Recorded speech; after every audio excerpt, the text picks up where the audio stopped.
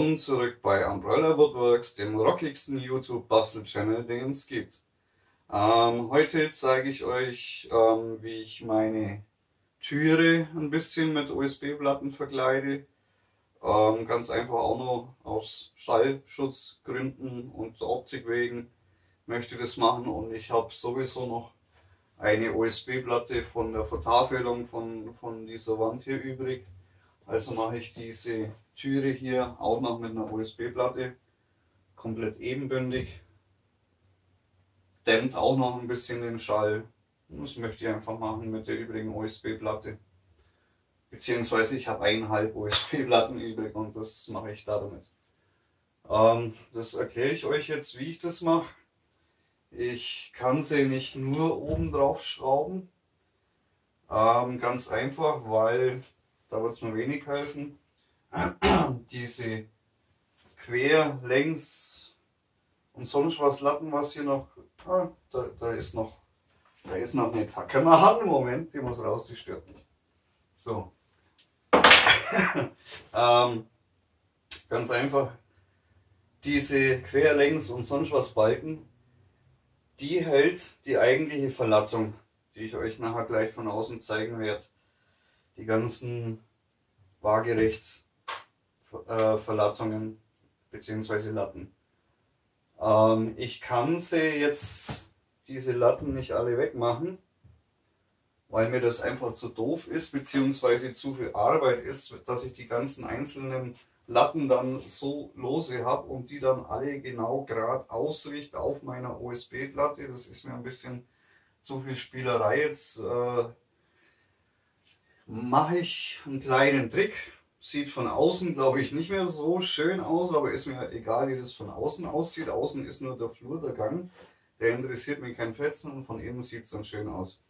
Ganz einfach, ich säge hier diese Latten ein bisschen ab, die hier so quasi die Türe dann zuhalten, wenn sie zu ist, damit man sie nicht nach außen ausziehen, aufziehen kann. Himmel, Herrgott, Ey, heute, heute bestes Deutsch schon wieder, ohne Witz.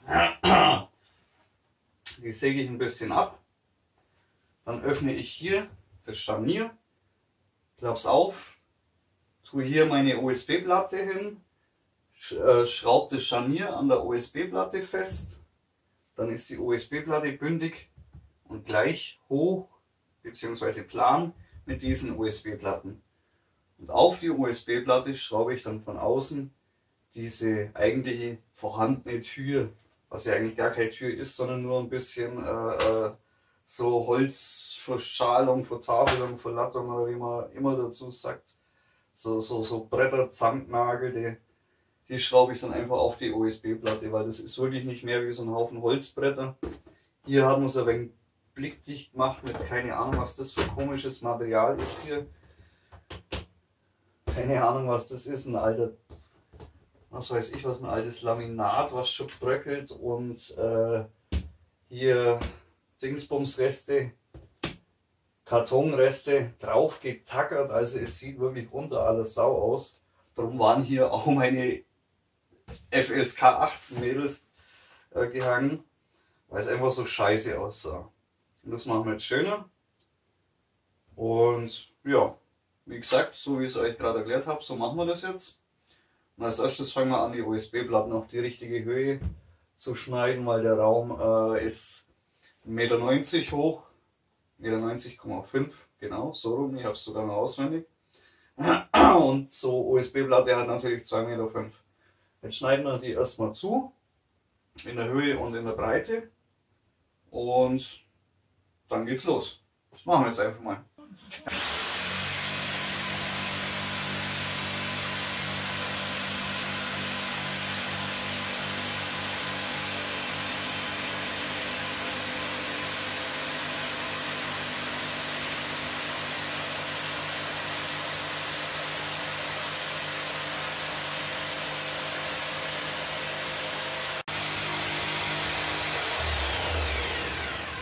Die zwei Bretter sind zugesägt.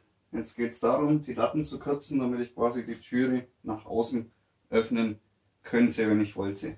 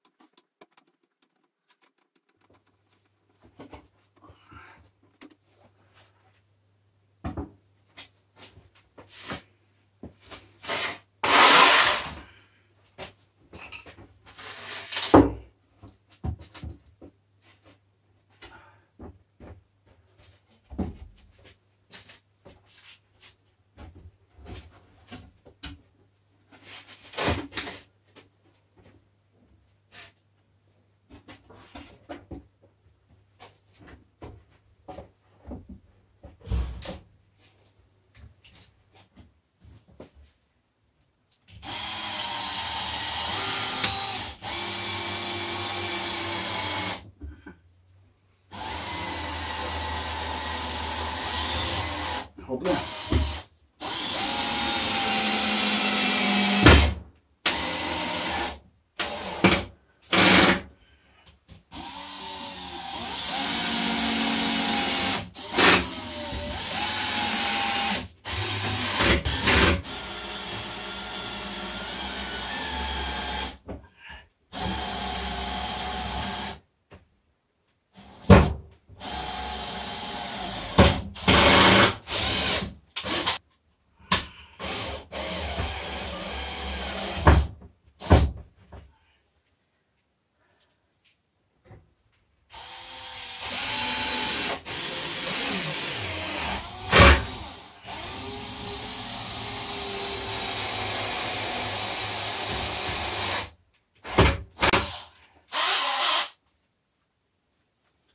Noch ein kleiner Anfängertipp. Ähm, erstens nehmt am besten Torx-Schrauben. Nehme ich auch sehr gerne. Habe ich jetzt zwar hier nicht überall verwendet, aber nehmt am besten Torx-Schrauben. Weil da macht ihr die Köpfe einfach nicht rund, wenn ihr mal irgendwie doch wieder was zurückbauen, abbauen, reparieren müsst. Ähm, und der zweite kleine Anfängertrick für die Anfänger unter uns. Es sieht alles viel schöner aus, wenn ihr Löcher ansenkt. Das mache ich jetzt auch noch schnell.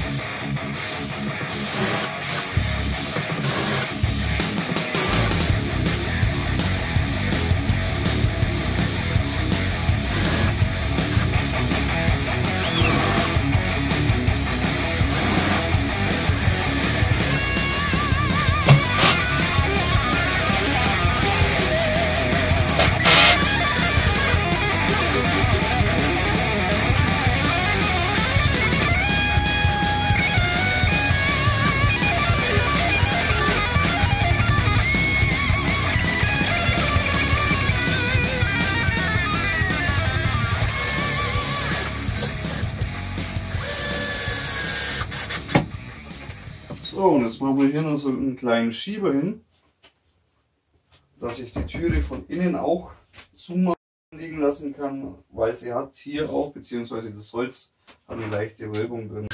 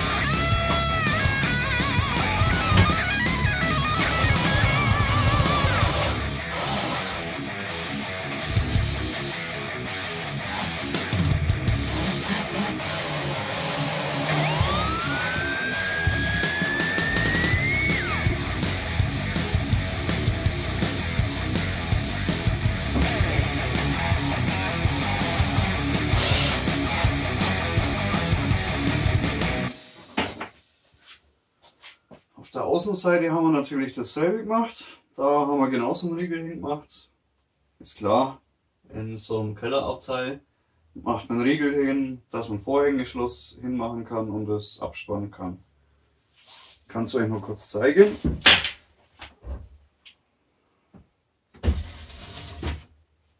Wenn ich die Türe jetzt weit genug aufmache. Huch, hier stoße ich an.